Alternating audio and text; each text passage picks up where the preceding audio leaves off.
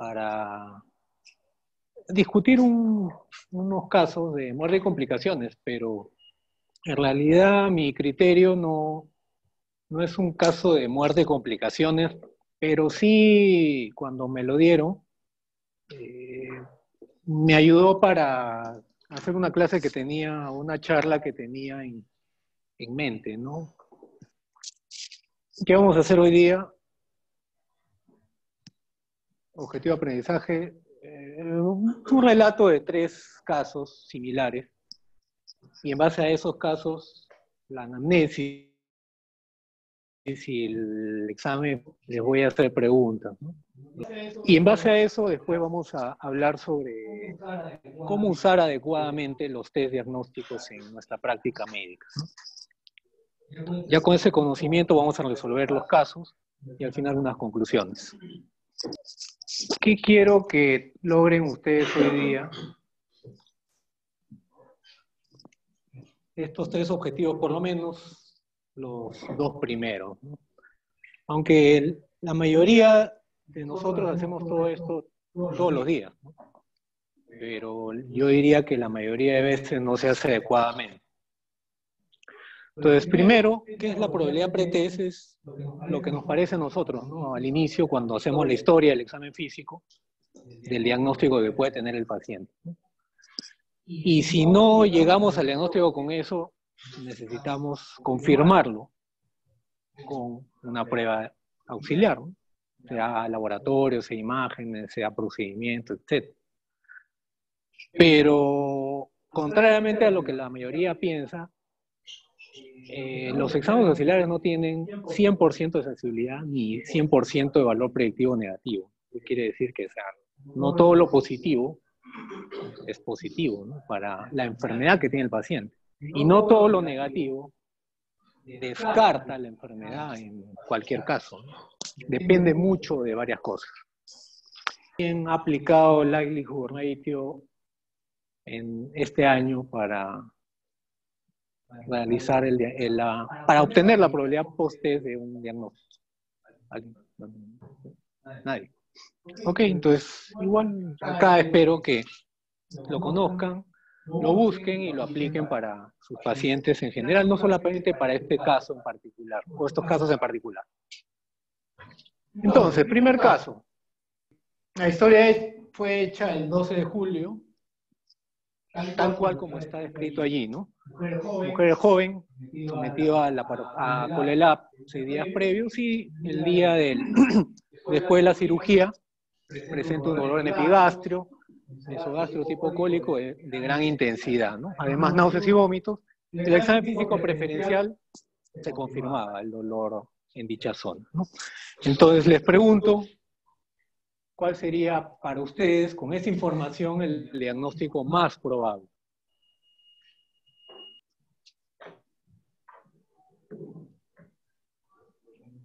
¿80% pancreatitis aguda, 13% apendicitis y gastroenterocolitis aguda 1. A ver, primero el tiempo de enfermedad son 6 días.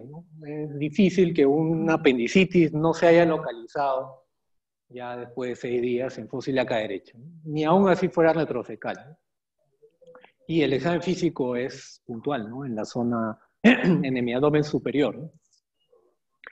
Gastroenterocolitis aguda es un diagnóstico que, bueno, para mí no debe existir porque es muy, muy amplio, ¿no? Muy, o sea, gastroenterocolitis, o sea, ¿dónde está la enfermedad? En el estómago, en el intestino, en el colon, en los tres, o sea, existe ese término, pero no es correcto, adecuado, eh, digamos, decir a alguien que tiene esa enfermedad. ¿no? Deberíamos ser más específicos. Y bueno, la mayoría del diagnóstico pancreatitis aguda. Ok, lo que quiero reconocer con esto es que no todos piensan con un cuadro, digamos, muy, muy, no es muy característico, pues faltan algunos otros datos, un cuadro clínico de pancreatitis, no todos piensan que es una pancreatitis. Por alguna razón, alguien piensa que no es una pancreatitis. Y en esos casos, si alguien no tiene, no tiene el diagnóstico claro, ahí es que recién pedirían exámenes auxiliares. Entonces digamos que para el 20% pedirían exámenes auxiliares. Segundo caso, dos días después. Ya hay un antecedente, ¿no? Ha estado apendicectomizada. Es difícil que tenga apendicitis aguda ahora, de nuevo. Nueve días post-colelab ya la enfermedad es más, más detallada, ¿no? Intensidad de dolor y que se irradia la espalda. ¿no? Náuseas y vómitos igual, ya tenemos funciones vitales que están estables y, el, y el, el examen de abdomen igual preferencial es similar, ¿no? Pero ya abarca más el dolor o un poco más difuso, ¿no? Entonces, con este cuadro clínico, usted responda, ¿en qué porcentaje usted considera que la paciente tiene pancreatitis aguda? ¿Al 100%? Definitivamente no lo tiene, ojo de tiempo, responda. ¿0% o en, entre ese porcentaje? ¿no? Más menos, con ese cuadro clínico. ¿no? Esto sería la probabilidad pretest. Hace una curva normal, ¿no? El promedio, la, eh, la mayoría entre el 75 y 90%, pero hay 10% que es más del 90%, ¿no? O sea, la curva está hacia de 50 para arriba, ¿no? O sea, un 15%, un bajo porcentaje piensan que es poca probabilidad. Pero nadie piensa cero, por ejemplo. Entonces, grabemos estos números, ¿no? Más o menos 80-90%. ¿no? Tercer caso, 16 de julio, eh, apendicectomizada, bueno, hace 22 años, post-colelap, 11 días y 11 días tiene igual, ¿no? Dolor cólico en epigastrio, cerradia, región subescapular derecha, ya no se espalda. Bueno, aunque decir espalda también es muy inespecífico, ¿no? es un poco más detallado. ¿no? No es que comenzó con náuseas y vómitos, sino cinco días después casi presentó náuseas y vómitos y al examen físico solo hay dolor en epigastrio. Esta es la, la hoja rosada, ¿no? Entonces, ojo, con este cuadro clínico, la pregunta va a cambiar. ¿En qué porcentaje o en qué probabilidad con este cuadro clínico la paciente puede tener una infección urinaria sintomática? ¿Qué porcentaje? Ustedes dirían con ese cuadro clínico, ¿no? Dolor en epigastrio, guerra de espalda, subescapular, el examen físico ha sido colecistectomizada, esto sería igualmente la probabilidad pretest de tener infección urinaria. Sintomática, nuevamente digo, ¿no? Que amerite un cuadro de vómitos, que es una pielonefritis. 31 50% piensa, casi 50 80% piensa que tiene infección urinaria. Eh, sintomática, nuevamente, ¿no? no estamos hablando de cistitis, que es un cuadro muy localizado. Estaríamos hablando de pielonefritis que va con náuseas y vómitos. Entonces, ¿cuál es el síntoma cardinal o signo cardinal en una pielonefritis? Dos, uno es menos específico y otro es más específico. Primero, fiebre, que es inespecífico. Y el más, eh, bueno, no totalmente específico, pero el otro síntoma, ¿cuál sería? De pielonefritis aguda. Dolor lumbar, localizado, ¿no? cosa que no hay acá. ¿no? Solo con náuseas y vómitos, yo puedo decir que tiene pielonefritis aguda. Es muy específico, ¿no? Realmente la mayoría de cuadros, todos, de hecho, no pregunto eso, han tenido un cuadro real de pielonefritis aguda en algunos de sus pacientes. El cuadro clínico es característico. Como sin síntomas urinarios bajos, tiene no solo náuseas y vómitos, tiene fiebre o escalofríos y tiene dolor lumbar localizada. Entonces, ah, bueno, la curva ha bajado, ¿no? No, es para 80%, pero no debería, ustedes, este, bueno, la mayoría piensa menos del 15%, ¿no? Eh, alguien pensará un 80% que esto sería una pielonefritis aguda. Pero, nuevamente, ¿no? Esto nos coacciona o nos condiciona, mejor dicho, a pedir exámenes auxiliares quizá no necesarios. ¿no? Y después vamos a conversar de qué problema trae pedir exámenes auxiliares no necesarios. Entonces, complementando el cuadro clínico, o el caso 3, perdón, le pidieron exámenes auxiliares. O sea, no tenían claro que era pancreatitis o pielonefritis aguda. ¿no? Entonces pidieron examen de orina y pidieron exámenes para descartar pancreatitis. ¿Qué te parecen los exámenes auxiliares? O ¿Hay alteración? ¿No hay alteración? ¿Te llama la atención algo? Eh, en el examen de orina, eh, sí se observa una elevación de leucocitos. O sea, si el- según el- la- los valores normales del laboratorio que presenta que son, Están elevados. Están elevados, este, hay este, presencia de matíes. Entonces se podría decir que hay una este, em, hematuria, una micromaturia. Maturia, hay bacterias cuatro positivos, o sea, sí es un examen de orina patológico. Lo que sí llamaría la atención es que el nitrito está negativo. Entonces, eh, mayormente en, en examen, en infecciones urinarias podría haber, o sea, suele haber nitrito positivo. Y este, bueno, la lipasa está ligeramente aumentada, no es tanto. Eh, y la milasa no. Entonces, si bien la lipasa es más específica de pancreatitis que la milasa, pero eh, yo descartaría ahí la pancreatitis y, o sea, se podría descartar, pero el examen orina es patológico. Básicamente. Ya. Entonces hay un análisis, creo que la mayoría concuerda con eso, entonces vamos a votar de nuevo. ¿Cuál sería el diagnóstico principal del cuadro clínico del paciente? Ya tenemos, ojo, tiempo también. Hay clínica, hay examen físico y hay examen auxiliar. ¿Cuál sería el diagnóstico principal? O sea, puede tener dos o tres diagnósticos, ¿no? Pero el principal que, obviamente, el que, digamos, explica el cuadro clínico del paciente.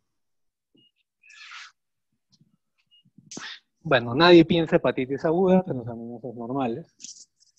Bacteriuria sintomática podría ser, ¿no? Porque no hay relato de síntomas urinarios ni bajos y los altos no son específicos, ¿no? Podría, y tiene bacterias en el examen, ¿no? Entonces podría ser una bacteriuria asintomática, pero obviamente por la definición no explica, el cuadro del paciente. Pielonefritis aguda, ya hablamos algo antes, ¿no? De los síntomas que no tiene el paciente. Ahora, siempre digo, ¿no? Eh, lo que no está escrito no, no quiere decir necesariamente que no es existe. ¿no? Quizás nos ha preguntado, no lo sabemos. Pero de acuerdo a los positivos o los síntomas, hallazgos clínicos positivos que sí tiene, no sugieren una pielonefritis aguda.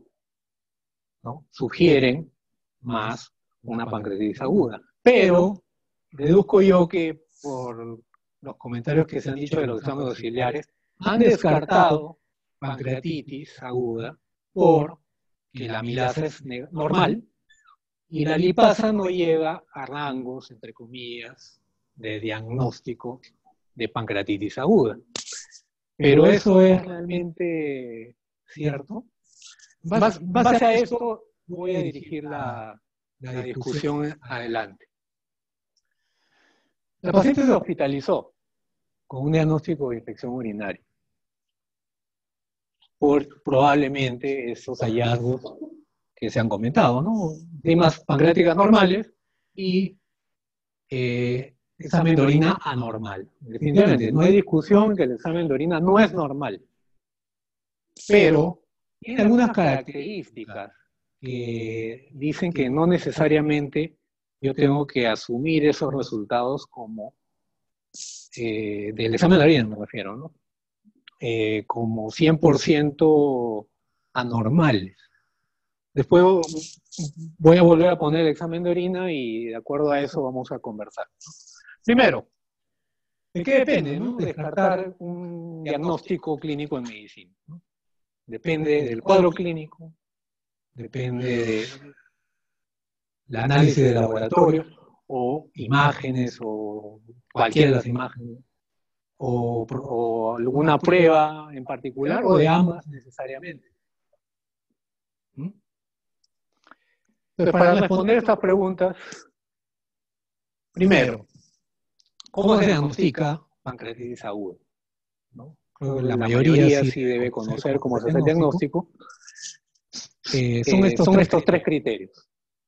Pero son, dos, de tres. No quiere, decir, que, si tiene un cuadro clínico y tiene amilasa o lipasa normales, yo descarto. Yo descarto. Todavía, me, falta, evaluar las, imágenes. Para, yo completamente. Y si yo le tomo imágenes y me sale descripción de pancreatitis, por más que tenga amilasa o lipasa normales, cumple los criterios. ¿no? Entonces, yo no puedo descartar un cuadro de pancreatitis aguda solo, peor aún si tiene un cuadro clínico sugestivo. De, ¿no? y, al inicio, la primera pregunta, el 80% pensó que era eh, pancreatitis aguda. Pero cuando vieron las amilasas y las lipasas y el examen de orina anormal, bajó el porcentaje a 50%. ¿Por qué? Porque nos estamos guiando más de, no el paciente que nos está mirando, estamos guiándonos de un papel. La medicina no es ver papeles, medicina es ver pacientes. Entonces, solo con cuadro clínico tiene un criterio, porque es un cuadro clínico, ahí está tal cual, ¿no? Dolor severo, 7 sobre ese severo, epigástrico, que si raya generalmente espalda. Es un cuadro clínico de pancreatitis. Pero, en este caso, la milasa salió normal y la lipasa ligeramente elevada, nada más. Y no tenemos imagen. Entonces, hago dos preguntas. La, primera, ya la he hecho explícita. ¿no? La milasa y lipasa normales descartan una pancreatitis aguda, peor aún en un cuadro clínico. Ojo, estamos hablando de cuadro clínico, ¿no? esto no es un screening. Esto es una prueba confirmatoria o para descartar. Y la otra, ¿no? que es mucho más frecuente. Un examen de orina anormal necesariamente me confirma el diagnóstico de una infección urinaria, hablo sintomática, ojo, no bacteriuria, asintomática. Si el cuadro clínico no es sugestivo. Primera pregunta. Entonces, en medicina tenemos que hacer, lo que tenemos que hacer todos los días es tomar decisiones. Pero ¿cómo, tomamos, decisiones? No es de la nada, no es al azar, no es disparar al aire, no es, no es a pedirle algo por si acaso. La toma de decisiones es de acuerdo al paciente, cada paciente que evaluamos. Eh, y, cómo, y cómo planteamos el diagnóstico inicial, ya lo vimos al inicio. Con un cuadro clínico, con una historia clínica, síntomas y signos. Y con eso tenemos una idea de al, inicio cuánto puede tener, de, qué porcentaje puede tener ese diagnóstico. Hay diagnósticos que son clínicos. Por ejemplo, una rinofaringitis aguda. ¿no? necesito una prueba auxiliar para decir si alguien tiene menorrea transparente, no hay tos, dolor de garganta sin fiebre o poca fiebre. Esto va a ser una neumonía, Y necesito pedir una placa. No hay una prueba para eso. Ahora, si tiene otros signos, por ahí los de Centor, y tengo dudas si es bacteriano, y ahí tengo que aplicar esos criterios y de acuerdo a eso ver si le pido o no el antígeno, ¿no? para decidir uso de antibióticos. Entonces, pero ese es un ejemplo nada más en donde tenemos que poner a los pacientes que evaluamos en este, digamos, en esta línea. Ahora, ahí ven eh, tres líneas, ¿no? Pero acá en esta bibliografía han definido exactamente al tres partes iguales, pero no es así, ¿no? Ustedes, esto ya lo he preguntado en pregrado, pero bueno, para ustedes, lo hago pregunta abierta, ¿no? ¿Cuál sería el porcentaje para que ustedes puedan descartar, o sea, de probabilidad pretest, ¿no? Veo al paciente, cuadro clínico, examen físico, y en qué porcentaje me parece o no, clínicamente, eh, eh, me, yo podría descartar solo con eso el 33% sería. ¿qué porcentaje usted diría? O sea, yo veo y me parece a un 30% que tiene hepatitis aguda. Descarto con eso el diagnóstico, ojo, con cuadro clínico. definitivamente no lo confirmo, pero con 30% puedo descartar el diagnóstico. 15, 10, 5, 1, 1% sí, ¿no? creo que ahí sí, sí, no. Con 1% de probabilidad. ¿Qué número le pondrían ese umbral? Esa es mi pregunta. Para descartar una patología con cuadro clínico.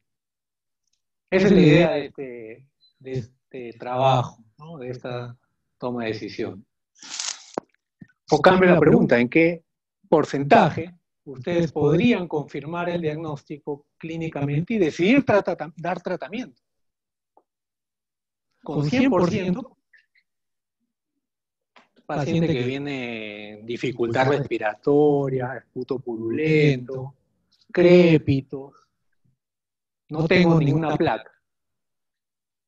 ¿Podría decir yo que al 100% tiene neumonía? Quizá no. Pero ¿en qué porcentaje puedo decirlo? Entonces, la pregunta, o sea, estos dos umbrales son ¿en qué porcentaje yo puedo descartar o para no dar un tratamiento o no seguir un plan de trabajo? ¿Y en qué porcentaje yo podría confirmar la enfermedad X y, e iniciar un tratamiento mientras puedo yo para confirmar, ya quiero al 100% este, ubicar el neumococo en el cultivo. Perfecto, ¿no? debería hacerse. Que no se hace es otra cosa, pero debería hacerse. En todas las guías está grano y cultivo de secreción bronquial para ver gérmenes comunes. Pero mientras llega ese resultado, lo pido, yo no doy tratamiento para neumonía. Ahí está el tema de probabilidad pretest de un diagnóstico. Ahora estoy poniendo el diagnóstico de ejemplo neumonía. ¿Qué porcentaje pondrían acá? El porcentaje va a depender de la severidad de diagnóstico y la posibilidad de muerte o no del paciente. Obviamente, quizá para una cistitis aguda, si hay duda, entre, vaginitis o cistitis real, el paciente no se va a morir de eso. Va a tener molestias, sí, pero ahí tienen que decidir, ¿no? Entonces, este ejercicio lo hice con alumnos de quinto del año pasado, este año comenzando, y la mayoría dijeron que 10% o menos podría alejarme un poco de el diagnóstico porque bibliografía no he encontrado de porcentajes exactos. Y efectivamente, ¿no? Este es un porcentaje variable. Promedio puede ser 60, para determinada enfermedad puede ser 70, para otras 50%. Pero lo que está en el medio, como dice acá, hay incertidumbre, necesitamos algo para poder irnos hacia para acá o irnos para acá. Y ahí es donde entra a tallarle 100 la prueba auxiliar. ¿Tiene algún sentido si yo planteo acá un 90% de cistitis aguda, no dar tratamiento? Ojo, no quiere decir ¿no? que yo no le voy a tomar un examen de un cultivo y voy a dejarlo corriendo. El resultado no sale inmediato. Entonces, si yo tengo isuria, cura, mujer joven, ha tenido infecciones urinarias previas, ¿cómo probable que es eso. O sea, un 90%, 80%. Entonces, puedo dar tratamiento y pido el urocultivo, ni siquiera un examen de orina completo. ¿Para qué? Para ver el germen y ver la sensibilidad. Sobre todo ahora en esta época que hay blea cada rato. ¿no? Pero esta es la idea de la toma de decisión. Obviamente, si yo no pongo acá, no defino una probabilidad pretest de cualquiera de las enfermedades que tenemos, puede disparar al aire. A ver qué sale. Y así no es, nuevamente les digo, medicina. Lo que deben entrenarse no es en leer exámenes auxiliares. Deben entrenarse en hablar con el paciente y examinarlo. Mientras más síntomas saquen o pregunten, es mejor. Ahora, que del 100% de preguntas que hacen, el 90% sean negativas, ya con mayor seguridad puedes descartar otra enfermedad, pero si por ahí una de esas 100 preguntas, una es relevante, ganan bastante información para poder dirigir el diagnóstico. Entonces, los tres diagnósticos todos tienen sensibilidad y especificidad, valor predictivo positivo, valor predictivo negativo. Imposible, que, todos tengan 100% de todo. Entonces, para, esto yo tengo que conocer cuánto de sensibilidad tiene una hemoglobina, o una creatinina, o un, examen de orina, sobre todo los que pueden tener sensibilidad baja o especificidad baja. Por ejemplo, ¿no? Si una sensibilidad me sale al 70% de un examen X, ¿qué significa en el contexto de una enfermedad? Si la prueba sale positiva. Solo estoy hablando de sensibilidad, ¿no? ¿Qué dijeron? ¿Qué significa sensibilidad 70%? Falsos negativos. Entonces, obviamente si mi sensibilidad es 99.9%, no se van a pasar muchos negativos que, que, tienen, que están enfermos. Pero si la sensibilidad es más baja, se va a pasar un porcentaje. De, igual con la especificidad, y para eso se calcula también el valor predictivo positivo y el valor predictivo negativo. Eso ya se estudia en la mayoría de exámenes auxiliares. Lo que tengo que hacer es buscarlo y ahí aplicar. Pero la mayoría que hace solamente entiende que esta prueba me descarta, por, completo o me, confirma, por completo una patología, y no es así. Pero esto es solamente el examen auxiliar. Depende mucho del gol estándar y depende mucho de la prueba. Entonces, para eso ya se inventaron otros cálculos. Uno de ellos bueno, ese cálculo es lo que se llama likelihood rate, que es la probabilidad de tener ahí positivos, ¿no? el cálculo es tal cual, lo único que necesitan es el valor, sensibilidad, especificidad, nada más. Entonces, ¿qué significa? Es los verdaderos positivos entre los falsos positivos. O sea, mientras más alto sea esto, yo tengo mayor seguridad de que la prueba realmente es positiva, porque estoy quitando los falsos positivos. Y la ratio negativo significa lo contrario. Entonces, los, a los verdaderos negativos les quito los falsos negativos.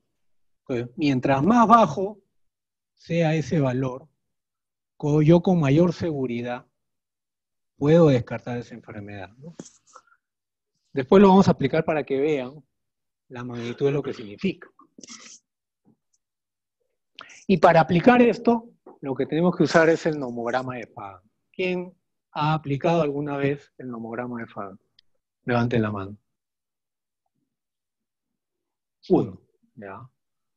Solo uno. A ver, ¿quién lo conoce? Dos, tres. Pero no les gusta mucho como para aplicar. Ya, ok. Muy complejo, ¿no? Para. No es complejo para nada. Ahora les voy a. Ahora van a ver ustedes mismos cómo ¿Cómo es eso? Entonces, para eso necesito tres cosas, tres valores nada más. Uno es la probabilidad, perdón, dos valores. Bueno, sí, tres. La, probabilidad pretest, que es la que ustedes han calculado, que es subjetiva realmente para un médico en particular, con mayor experiencia le puede parecer un porcentaje. No es exacto. Y ustedes también lo han visto acá, ¿no? Hay una variabilidad en, ese, en esa probabilidad pero es algo para comenzar. Ahí aplico el nomograma y de acuerdo al likelihood ratio positivo y el negativo es que yo voy a obtener una probabilidad post-test. ¿Cómo es eso? Primero tengo que tener los datos. Entonces, estos son los datos de los test diagnósticos para pancreatitis aguda. Entonces, la lipasa mayor de tres veces lo normal y la milasa mayor de tres veces lo normal tiene una sensibilidad alta y miren el likelihood ratio, también es alto, positivo, y también es bajo.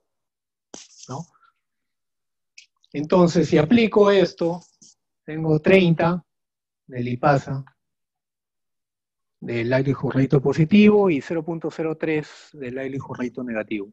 Y amilasa 21 y 0.5. Entonces, este es el nomograma de Fava. Entonces, acá yo pongo la probabilidad pretest. Ahora, vamos a partir de... ¿Cuánto le puse acá? Bueno, ustedes le pusieron 80, ¿no? Que fue el primer valor del cuadro clínico. ¿no? Yo le he puesto 90, pero no hay mucha diferencia. Entonces, si yo calculo el likelihood ratio positivo, o sea, si la prueba es positiva, si la milasa está elevada, ¿cuánto me va a llevar el porcentaje a la probabilidad post-test? Entonces, si yo pongo acá 80 es igual, más de 100. Entonces confirmo el diagnóstico. Por eso solo necesito 2 de 3. Si la milasa está alta, eh, confirmo el diagnóstico. No necesito otras pruebas, no necesito pedir imagen. Igual con LIPAS, porque el valor es más o menos igual 20. Pero con esta probabilidad alta, 80 o 90% de tener pancreatitis aguda, tener una milasa negativa, ¿cuánto de probabilidad usted me da? 0.03 me da una probabilidad de más de 20%. Entonces yo descarto la enfermedad si la prueba es negativa con un 20% de probabilidad O sea, digo, no tiene esta enfermedad, ya no hago más nada, le doy de alta con otro diagnóstico que, que se me ocurre, gastroenterocolitis aguda, este, ITU.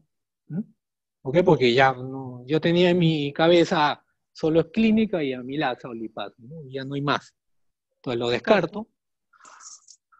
Solamente podrían descartarlo si es que la probabilidad es más baja, ¿no? porque esto sube y la probabilidad baja hacia acá. ¿no? Pero no con una probabilidad pretest alta. Esto sería un falso negativo, porque tiene una probabilidad pretest alta. Y eso lo vamos a ver. ¿Y por qué? Porque es un falso negativo. Entonces, este para resumen de algunos que han llegado después. ¿no? Entonces, tiene un cuadro poco LELAP, por litiasis. Después, de eso hace dolor en epigastrio, en la espalda, náuseas y vómitos, y dolor en la zona del páncreas. Y le tomo enzimas que están poco elevadas, ¿no? Pero miren el tiempo, 11 días después. Obviamente, si yo le tomo la milasa la lipasa el primer día o segundo día, muy probablemente me va a salir alto. Pero si yo le tomo la milasa y lipasa después, ¿qué pasa? Pasa esto. Todos los árboles se metabolizan, se eliminan. Entonces, esto son veces, ¿no? Acá no se ve un poco, una vez, dos veces, tres veces. Entonces, para tener el criterio de amilasa y lipasa elevadas tres veces lo normal, yo tengo que tomar los valores a máximo tres días. Después van a bajar. Y la milasa se mantiene alta, pero no a los valores, a siete días, no a los valores de tres veces. No se mantiene alta. Que es lo que tenía la paciente. No estaba tres veces, pero se, se mantenía más alta del valor límite. Y es por esto. Y esto está comprobado más en el siglo XX. Entonces, realmente no son enzimas negativas. O sea, es simplemente la tendencia que ha pasado con los días de la enfermedad. Y no se tomó en su oportunidad. Pues, Entonces, si yo tengo un cuadro clínico sugerente de pancreatitis aguda, la probabilidad es alta. Yo no puedo descartar una enfermedad solamente si la prueba es negativa. Necesito otra, otro de los criterios. En este, este caso sería imágenes. Eh, ya hablamos del porcentaje de probabilidad pretest. ¿no? si yo tengo probabilidad pretest más del 50%, o sea, es, muy, es probable que tenga la enfermedad. La prueba positiva obviamente me va a dar la confirmación del diagnóstico. una prueba negativa no. Entonces acá les digo, ¿no? depende del tiempo de enfermedad y a partir del cuarto día de tiempo de enfermedad no se deben guiar solo de, de la amilasa y lipasa. Y peor, acá la lipasa no era normal, definitivamente, era anormal. Entonces el diagnóstico de la paciente no era ITU, ¿o sí? Entonces vamos, a responder la segunda pregunta. Un examen de orina anormal o patológico o positivo, el nombre que le dan todos ustedes, X, confirma una infección urinaria en el contexto de alguien que no tiene síntomas de infección urinaria. Hablo de infección urinaria sintomática, ¿no? cistitis, nefritis aguda complicada, no complicada. A eso me refiero. Eso es lo que se hospitaliza. ¿no? Nadie va a hospitalizar una bacteriuria asintomática. ¿no? no tiene sentido. Nuevamente, ¿no? El cuadro clínico. Mujer joven, poscolelab, dolor en epigastrio, y el examen de orina es anormal. algo aparte de lo que se ha mencionado les llama la atención de ese examen de orina, aunque no lo, voy no lo menciono en la discusión adicional. ¿Cuál? Células epiteliales. ¿Qué significan esas células epiteliales que están 10 veces el valor normal? ¿De dónde? ¿Contaminación de dónde? Generalmente del tracto de salida de mujer, generalmente de la vagina. Aquí habría que preguntar si la paciente tiene flujo vaginal, como para poder decir si, estas células son o no de ahí. Pero Sacando eso, vamos a hacer el análisis que hemos hecho igual con la milasa y lipasa, con la sensibilidad y especificidad de un examen de orina. Entonces, para el diagnóstico de examen de orina hemos aprendido es piuria, leucocituria y nitritos, como ha dicho. ¿no? Obviamente, si tienen los dos es más todavía, más seguridad. Pero, es 100%. Si lo ven acá, más o menos, entonces, son la, piuria, leucocitos elevados. No es 100%, de frecuencia. a veces hay infecciones urinarias que no hay, no hay leucocituria, es cierto. Pero miren la sensibilidad. 72%. O sea, quiere decir que hay falsos negativos, casi 30%, pero esto es lo más preocupante, ¿no? Tiene una especificidad baja. 60%. ¿Qué quiere decir eso? Un falso positivo, o sea, 40% de que el examen sea anormal y realmente no sea una infección urinaria, sino otra cosa, una vaginitis. También puede dar leucocituria, está en las revisiones de infección urinaria. Una uretritis también puede dar leucocituria y no ser infección urinaria. Entonces tiene sensibilidad especialidad baja. Ahora ya, pueden decir, no, esto no. Ya entonces vayamos al likelihood ratio. 1.67 y 0.5 de Piuri. ¿Cuánto les dije más o menos que debe ser más el likelihood ratio? Más de 10, ¿no? Como para que sea significativo. Y del likelihood ratio negativo, dos décimas, dos centésimas. ¿no? y acá es 50, 0.5, perdón, debajo. Pero vamos a aplicar, ¿no? Con el nomograma de Y miren, los nitritos tampoco es muy alto. Sensibilidad más baja todavía, hay falsos negativos. O sea, que tengan nitritos negativos no descarta la enfermedad, ojo. Y también que tenga, aunque los nitritos positivos sí un poco más eleva, o sea, si son, si son positivos, son un poco más específicos, efectivamente. Pero nuevamente, en el contexto de síntomas, no en el contexto de solo ver el examen de orina. Porque puede ser una bacteriuria asintomática que no amerita tratamiento en la mayoría de personas. Hablo de antibióticos.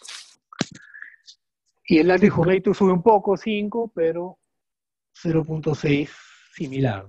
Pues acá vamos a analizar solo la piuria porque el nitrito era negativo. ¿no? Entonces, probabilidad de infección urinaria. Entonces, piuria, si yo le calculo con 1,67, ¿cuánto me sube el porcentaje? A 15%. Ya, si quieren un poco más, ¿no? 20. 20. Igual, a 20%. Yo con 20% o 15% de probabilidad post-test, le pueden decir a ese paciente, usted tiene infección urinaria sintomática de la medita meropenem. No, ¿no? Pero lo importante acá es esto, ¿no? que una que piuria en el examen de orina tiene una likelihood positivo bajo. Entonces, no me tiene por qué a mí hacer diagnosticar a un paciente que tiene un examen de orina anormal, infección urinaria, si no tiene síntomas. Siquiera ya por ahí sí puede ser cierto, si le tomo un urocultivo y sale positivo, es una bacteriuria asintomática. Pero hasta ahí nomás. No medita antibióticos en el contexto de esta paciente. Y es esto, ¿no? acá ustedes le pueden poner el porcentaje que ustedes deseen, pero no va a ser nunca 30%. No puedo descartar con 28% la enfermedad de alguien, necesito alguna prueba. Pero nuevamente que tenga el hijo negativo bajo para yo descartarlo. Igual acá, puede ser 50, 60, 70, no voy a coger un likelihood ratio bajo, porque me va a subir poquito el porcentaje. Necesito un examen que tenga el likelihood ratio elevado para yo poder acercarme más al 90% o más porcentaje. Y eso donde se busca en la bibliografía. No es que mi profesor no me enseñó, que en el PPT no estaba, o sea, eso es médico todos, la mayoría de ustedes ya salió de la universidad, algunos ya van a salir de la universidad. Entonces, es un tema de autoaprendizaje. A mí nadie me enseñó esto en la universidad. Lo he tenido que aprender para también resolver problemas con los pacientes que atiendo y también para enseñar a los alumnos que, que, que enseño en la universidad. ¿no? Pues conclusión de la, de la pregunta 2. ¿no? Un examen auxiliar, perdón, un examen de orina anormal. Eh, descarta infección urinaria. Perdón, confirma infección urinaria. En el contexto de alguien que no tiene síntomas de infección urinaria baja o alta, la probabilidad pretest es baja. Entonces, en ese contexto lo que me importa más es el ratio negativo para descartarlo. Y va a depender efectivamente, no sea piuria o nitritos, de si hay síntomas, de si hay otras causas de cositura que tengo que investigarla, y si hay contaminación de la muestra, efectivamente. Y eso me lo sugiere las células epiteliales, que también las tengo que ver. No, es solamente ver leucocitos y nitritos. Entonces, para resolver los casos, pregunta, ¿Qué debo hacer en el caso de que tenga una paciente con cuatro alternativas? Que tiene cuadro clínico para pancreatitis y la milasa y lipasa no tiene más de tres veces lo normal. Porque esta paciente de, julio se llevó por emergencia acá y se hospitalizó en mi pabellón. Está bien, ¿no? Que ya ustedes empiecen a resolver y analizar los casos. Pero ya hablamos de los criterios, necesito imágenes. Definitivamente la imagen más sensible es una tomografía o una resonancia. Y está dentro de los criterios, si leyeron abajo, tomografía o resonancia. Pero ¿qué problema tendríamos peor en este hospital del MINSA? No hay en el hospital. Entonces se tiene que hacer afuera. Exacto. No sé, aún así tuvieras toda la plata del mundo, la puedas pagar, que hay gente que puede pagar. Pero va a tomar tiempo. ¿Y mientras qué hago? Entonces, ahí pueden hacer otra cosa. A propósito, en la revisión me salió esto, ¿no? En la búsqueda bibliográfica. Claramente es una presentación rara. Acá el diagnóstico le hicieron uno con resonancia y el otro con tomografía. ¿no? La milasa obviamente y lipasa eran normales, pero el tiempo de enfermedad era largo. En una creo que 10 días, 2 semanas y En el otro era una pancreatitis complicada, ¿no? Que salió. Pues son dos casos, ¿no? reportados del 2016. ¿no? Entonces, ¿qué iban a encontrar? Probablemente, este no es el mismo caso, ¿no? Es una revista de, de una revista de imágenes. Esta Esta colección, en la cabeza del páncreas, obviamente, obviamente no hay mucha discusión allí, ¿no? Si ustedes tienen lipasa o... Bueno, el otro diferencial sería neoplasia, ¿no? Pero si alguien viene con un abdomen agudo, no, no, pues no sería una neoplasia. Acá sí, ¿no? Acá sí, es ¿no? Acá es Totalmente difuso, totalmente la difuso la inflamación, el el crecimiento del páncreas. no debe No debe ser un, un cáncer, ¿no? Eso es Eso es una una pancreatitis. pancreatitis, ¿no? Y esta es otra Y esta es imagen, otra imagen que pues, puede ser sutil, ¿no? Acá, Mira, la, acá cabeza la cabeza y el cuerpo son pequeños, pequeños, pero acá, pero no. acá no. Y acá, Y acá se ve mejor, ¿no? ¿no? Entonces está inflamado la páncreas. En el contexto, un cuadro cuadro clínico de, de de pancreatitis, pancreatitis, esta imagen es positiva. ¿no? Ahora, depende mucho de, de quién lee la... Y para eso tenemos que aprender a leer tomografía. No es que me, o sea, debemos leer solo informes. Y también deberíamos aprender a ver ecografías. ¿no? Entonces, como ya dijeron, la tomografía y la resonancia puede ser difícil, si no imposible, en nuestro contexto. Entonces, tenemos ecografía. ¿no? Tienen ecografía en sus pabellones, los que no saben, te lo digo. ¿Y qué nos permite ver la ecografía? Si bien la sensibilidad es más baja que una tomografía, pero si lo encuentran, ahí está el páncreas. El problema de una pancreatitis es que hay hilio, y el hilio quizás no nos permite ver adecuadamente el páncreas. Pero si lo logro ver, van a poder detectar de qué tamaño está. Entonces el páncreas normal. Y la ubicación está acá. ¿no? Pero miren esta comparación, ¿no? El páncreas normal, el tamaño y la densidad sobre todo, ¿no? Es medio hipocogénico similar al hígado, por encima de la vena esplénica. Acá está la vena esplénica y acá está irregular, pero acá está aumentado de volumen. Esa es una ecografía. ¿no? Y acá hay otra, ¿no? Este es el páncreas normal y acá está aumentado de volumen e hipoecogénico. Y mm, con borde no definido, ¿no? A diferencia de esto. Eso está al alcance de ustedes. O si quieren ya el ecografista de, del hospital, pero está ahí, ¿no? eso no demora mucho. ¿Y qué ¿Qué tenía, tenía la la paciente? paciente? Tenía Tenía ecografía. Aunque también Aunque tuvo también tomografía, tomografía, pero no se no pudo, se pudo obtener obtener las imágenes. No No sabíamos que le íbamos a presentar. Entonces, Entonces, tiene, tiene parénquima levemente hipoecogénico. Entonces, Entonces, no es normal ese páncreas. Lo han Lo han visto. visto. ¿no? Claro, Claro, era era diferente acá, acá, sí. Nos Nos decían, decían, no, se puede visualizar páncreas. páncreas, ¿no? Por meteorismo intestinal, que su- supongo que habrán visto algunos informes así, pero acá sí se ve. Entonces, si yo tengo síntomas, cuadro clínico, y tengo imágenes, ya compro dos criterios. Entonces, El cuadro era confirmado una pancreatitis. ¿no? Entonces, ¿qué conclusiones podemos sacar? no? Dos cosas que son enfermedades frecuentes acá en el hospital. ¿no? Pancreatitis aguda ha subido la frecuencia ya ya los, los últimos, yo diría, cinco años o más. ¿no? Una, Una causa frecuente de hospitalización. Entonces, ¿cómo diagnostico pancreatitis aguda? Dos de tres.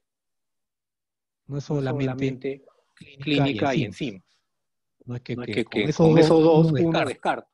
Eso de tres. de Si no tengo no enzimas, enzimas, me queda imágenes. imágenes. Ahora, Ahora, obviamente, obviamente, si, si puede, puede lograr, lograr algo más sensible que la tomografía a corto plazo, perfecto. perfecto. Pero si Pero no, si no, ecografía. Tener, Tener en en cuenta, cuenta que las enzimas tienen un tiempo.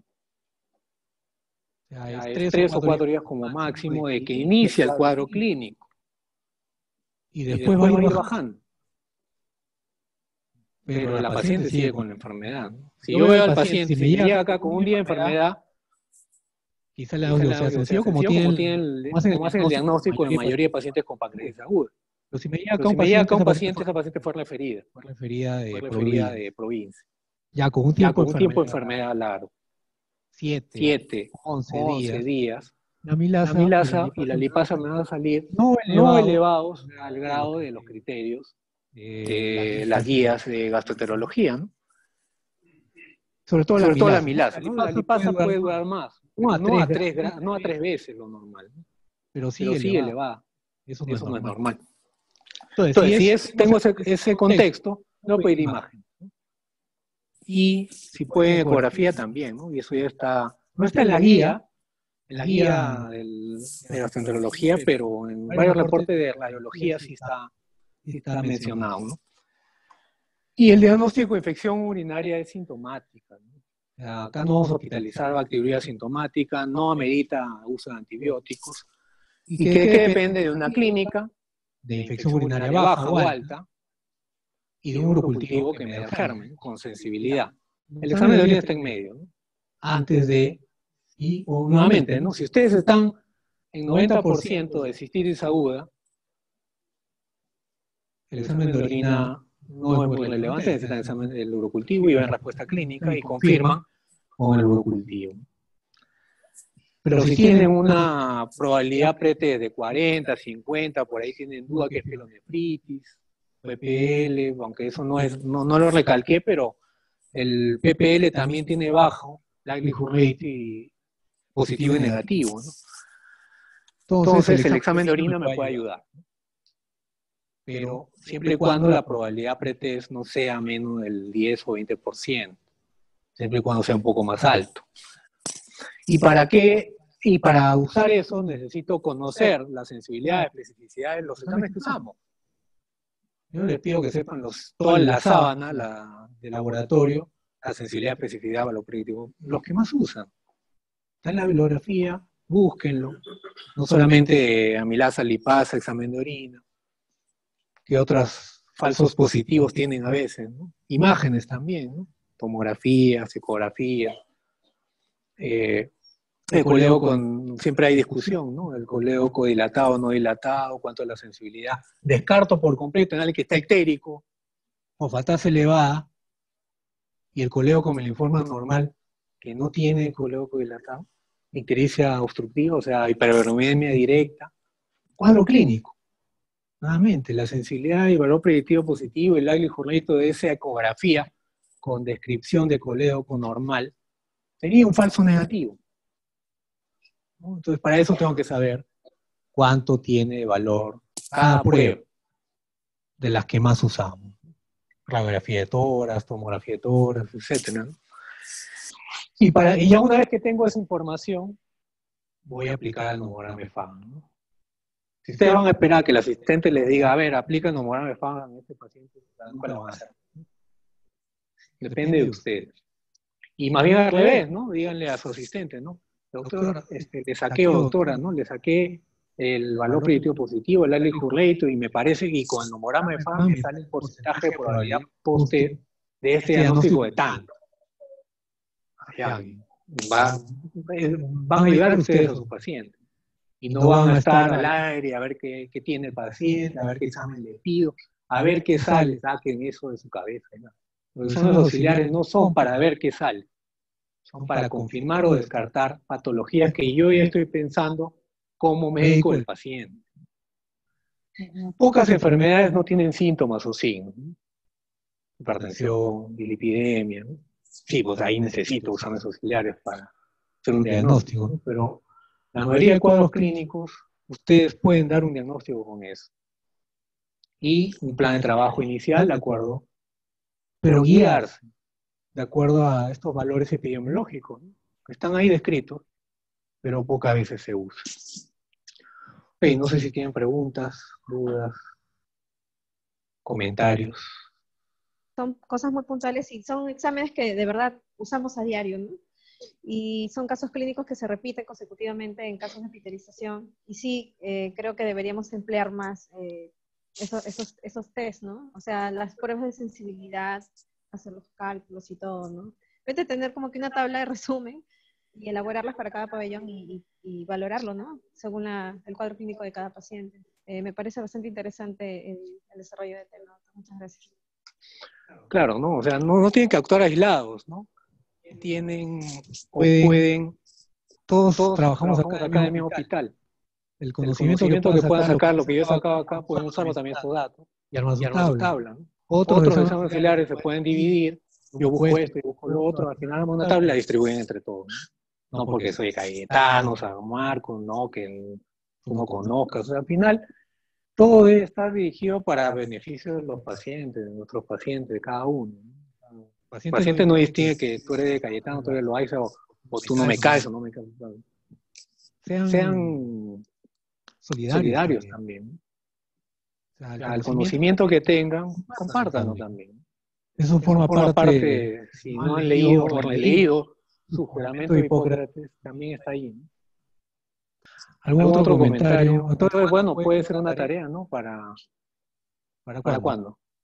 cuándo? Bueno, Ya depende, de ustedes. ¿no? ¿Algún otro comentario, pregunta, duda?